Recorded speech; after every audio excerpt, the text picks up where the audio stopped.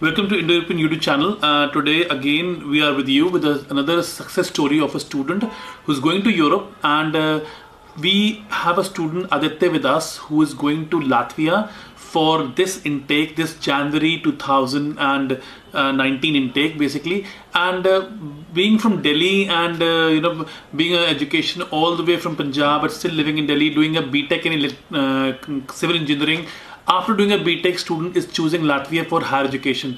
Let's understand first of all, uh, Aditya, uh, that's your visa. Yes, Congratulations. Sir. Thank you so much, sir. So Aditya, uh, normally I always do this kind of a you know um, one-to-one uh, testimonial with students. The reason is because a lot of time what happens is people you know uh, promise students when they start their process with a consultant, and then later on बातें change हो जाती हैं right so Punjab में आप हो रह के आए हो पंजाब से अपनी एजुकेशन करी है तो आपका बैकग्राउंड क्या है बेसिकली मैंने एक्चुअली बीटेक करी हुई है सिविल इंजीनियरिंग में कंस्ट्रक्शन में।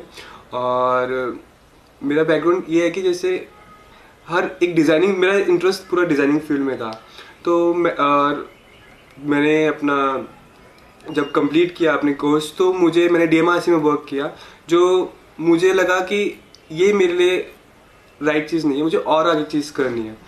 तो फिर मैंने आगे अपने आप से सर्च किया तो मुझे ये सर्विस मिली यहाँ पर और मुझे कोर्स मिला जो मैनेजमेंट में है पूरा और रियल स्टेट के ऊपर डिपेंडेबल है जिसमें मैं अपना डील भी करूँगा चीज़ें कि मैं मार्केटिंग में भी डील कर रहा हूँ क्योंकि सिर्फ़ कंस्ट्रक्शन में एक सिंगल वे होता है कि बस हमें सीखनी है चीज़ें। बट ये नहीं पता होता कि हमें कैसी कैसी चीज़ें मैनेज करनी है क्योंकि बहुत सारी फील्ड्स होती हैं उसके अंदर कि हमें मार्केटिंग नहीं पता तो हम जो हमारे लेबर्स होते हैं उनसे डील कैसे करेंगे वो हमें बेवकूफ़ है कुछ भी कर सकते हैं बट हमारे नॉलेज के थ्रू मुझे ये लगा कि रियल स्टेट के अंदर काम करना अभी के टाइम पे बहुत बेटर है क्योंकि वर्ल्ड पूरा चेंज हो जाएगा अभी रियल स्टेट के अंदर। मास्टर डिग्री किसमें है आपकी? मैं अभी मास्टर डिग्री के लिए अप्लाई किया था और जो मेरा वीज़ा आ चुका है वो है master in civil construction and real estate management okay it's a combination of engineering economic and marketing also I think normally student Delhi के खास कैसे आपने बताया था मुझे भी हम बिफोर द कैमरा में बात कर रहे थे कि आपकी जो पढ़ाई थी वो एजुकेशन uh, आपने बीटेक करी है uh, पंजाब से राइट पर दिल्ली में आप रहते हैं एंड फादर uh, आपके आर्मी से हैं. So I am sure with arm forces के जो बच्चे होते हैं काफ़ी इंडिया घूमे होते हैं. आपने काफ़ी चीज़ें देखी होंगी. नॉर्मली बच्चे क्या करते हैं वो बीटेक करने के बाद they go to Canada USA Australia New Zealand Europe जाने का रीज़न क्या रहेगा? मैं बस ये कहना चाहता हूँ कनाडा ऑस्ट्रेलिया सिंगापुर ये सब में ऑब्वियसली अच्छी अच्छी यूनिवर्सिटीज़ भी प्रोवाइड हैं अच्छे अच्छे कोर्सेज भी हैं. पर जो ये वाला कोर्सेज है सिर्फ़ ये यूरोप के अंदर ही अवेलेबल है। क्योंकि दो कॉम्बिनेशन ऑफ़ कंस्ट्रक्शन फ़ील्ड का और एक मार्केटिंग फ़ील्ड का वो नहीं है। सिर्फ़ अभी एमबीए में अभी जो बीटेक करते हैं वो सीधे एमबीए में जाते हैं। उनको ये नहीं पता होता कि एमबीए के अलावा भी और भी कोर्सेज हैं जो मार्केटिंग से मैनेजमेंट से डील अप हैं। जैसे मेरा कोर्स था इसमें मेरा बहुत सारी चीज़ें हैं। मतलब इसमें इंटर्नशिप के थ्रू भी बहुत सारी चीज़ें हैं कि जैसे कंस्ट्रक्शन के साथ मेरा अपना मार्केटिंग है। और अभी की डेट में दोनों चीज़ें मिक्सअप के होगा तो एक अच्छा ग्रोथ होता है चीज़ों के लिए। तो okay. इसमें मेरा बहुत अच्छा ग्रोथ होगा अगर मेरा अच्छी स्कोरिंग आती है तो। तो किस यूनिवर्सिटी में जा रहे हैं बेसिकली मैं रीगा टेक्निकल यूनिवर्सिटी में जा रहा हूँ। और इस यूनिवर्सिटी में ट्यूशन फ़ी कितनी पे करी आपने? मैंने ट्यूशन फ़ीस में two six seven zero euro pay किया है। इंडियन में two lakh sixty thousand rupees two lakh sixty thousand हाँ with tuition with security fees okay so basic tuition fee आपकी टू लैक्स होगी अप्रोक्सीमेटली सिक्योरिटी सो दो लाख की tuition fee में uh, आप यूरोप में पढ़ने जा रहे हो। लेकिन अगर हम कनाडा की बात करते हैं तो वहाँ पे मोस्टली uh, बच्चे कनाडा जाते हैं। कहीं ना कहीं वहाँ ट्यूशन फ़ी कनाडा न्यूजीलैंड में आज के डेट में मास्टर्स में 10 से 15 लाख रुपए आ रही है जिसका मतलब हम दो साल के प्रोग्राम में जाएँगे तो 30 लाख की ट्यूशन फ़ी आ जाएगी। Yes, यहाँ पे आपकी फ़ीस आएगी चार लाख वहाँ आएगी 30 लाख। Yes, क्या ये भी एक रीजन था कि एजुकेशन को फाइनेंशियली कम बजट में जाने का ये भी कोई फोकस एरिया रहा? नहीं ऐसा कोई फोकस नहीं रहा। मेरे फादर मतलब एक्सपेंडिचर मेरा उठा सकते थे बट हम्म। मैंने ये चूज़ इसलिए किया क्योंकि एक्चुअली ना मेन चीज़ होती है यूनिवर्सिटी के अंदर वो प्रोवाइड क्या क्या चीज़ें कर रहे हैं एजुकेशन में। Okay. अब बहुत सारी यूनिवर्सिटी कहीं पे भी कुछ भी प्रोवाइड करती है। अगर मुझे लग रहा है ये यूनिवर्सिटी मुझे बेटर प्रोवाइड करेगी hmm. तो मैं क्यों फर्दर कनाडा जाके मैं अपना यूरोप ना जाऊँ?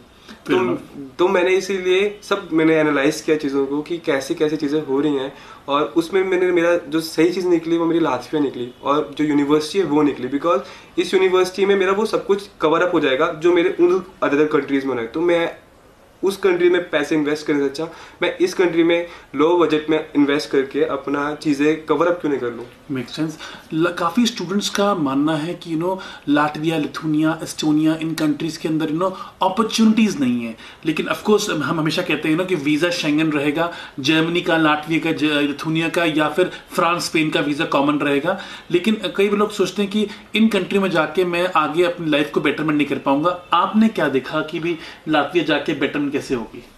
मैंने चीज़ें देखी सबसे पहले कि वहाँ पर कंपनीज़ जो होती हैं कि अगर मेरी इंटर्नशिप लग रही है किस कंपनी में लग रही है okay. मैं बी फ्रैंक कहना चाहता हूँ सारी कंपनी रियल स्टेट में है मैंने कनाडा में भी चेक किया मैंने ऑस्ट्रेलिया में भी चेक किया कुछ कुछ कंपनी कंस्ट्रक्शन में है बट लेकिन सारी कंपनी रियल स्टेट डेवलपमेंट में जुड़ चुकी हैं अभी की डेट में okay. और इससे मेरा ग्रोथ ये होगा क्योंकि इंडिया में और एज अ फॉरेन कंट्री में देखा जाए दोनों अभी सेम लेवल पे आ जाएँगे बिकॉज़ मैनेजमेंट एक तरह से सेम है दोनों का। बस अपना जो बजट्स हैं कैलकुलेशन हैं, जो मटेरियल्स की, वही डिफरेंस है।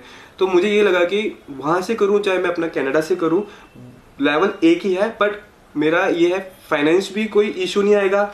मैं अपना, अपने अपने ओन अपने एक्सपेंस उठा सकूँगा और मैं डिपेंडेबल नहीं हो पाऊँगा अपनी फैमिली के very true so Aditya normally जिस हिसाब से हमने काउंसलिंग की थी, आप फ़र्स्ट टाइम कब आए थे इंडो यूरोपियन मैं दिसंबर में आया था और मेरा वीज़ा जल्दी लगा है बिकॉज़ मैं दिसंबर हाफ़ में आया था फिफ्टीन या आई थिंक फोर्टीन के बीच में। वाह और अभी हम बात कर रहे हैं फ़र्स्ट वीक ऑफ़ फेबर यानी कि अप्रोक्सीमेटली डेढ़ महीने के अंदर एडमिशन भी हो गया वीज़ा भी अप्लाई कर लिया हमने और वीज़ा आ भी गया basically so Yes, sir. So जो प्रोमिस हम पहले करते हैं आपसे साइनअप से पहले क्या हमारी टीम ने वो सारे प्रोमिस उसी टाइम के अकॉर्डिंगली डिलीवर करे हैं या कोई ऐसी चीज़ जो आपको कभी नहीं बताई गई थी आपको कोई शॉकिंग सरप्राइज़ दिया हमने पूरे प्रोसेस के अंदर?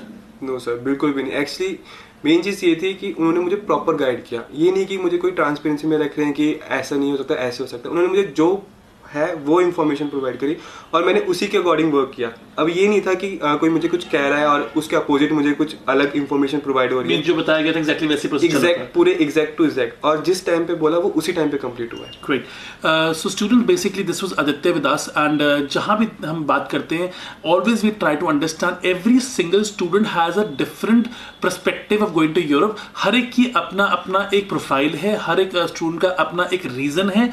आदित्य का रीजन था कि उसको कोर्स स्पेसिफिक मिल गया। जैसे कि तेरे बोला कि ना मनी मेरे लिए सेकेंडरी था कि मैं लो कॉस्ट को देख रहा था, लेकिन मेरे लिए पहला इंपॉर्टेंट चीज़ ये थी कि मेरा कोर्स मुझे मिल रहा है। और अगर मुझे मेरा कोर्स कम पैसों में मिल रहा है तो मैं उस कोर्स को कैनाडा में जाके तीस लाख में क्यों करूँ? Which makes a very logical sense to me also and that's we always say countries in Europe में जितनी भी हैं, सबकी एजुकेशन वैलिड है क्वालिफाइड है डेढ़ दो लाख रुपए से आप ट्यूशन फ़ी अप्लाई करना शुरू कर देते हैं। लेकिन ये ट्यूशन भी दस लाख तक भी जा रही है जर्मनी में लेकिन बहुत इंपॉर्टेंट ये है कि अगर आपका कोर्स आपको मिल रहा है और कम पैसों में मिल रहा है तो आप उसके एक्स्ट्रा पैसे क्यों देंगे right so this is this bring us to end of this conversation but thank you एते once again congratulation and I wish you all the best कि वहाँ जाके आप अपनी एजुकेशन uh, अच्छे से लें and students keep watching Indo European YouTube channel because हर रोज हम लेके आ रहे हैं new stories new experiences because कहीं ना कहीं ये बहुत इंपॉर्टेंट है जो प्रोमिस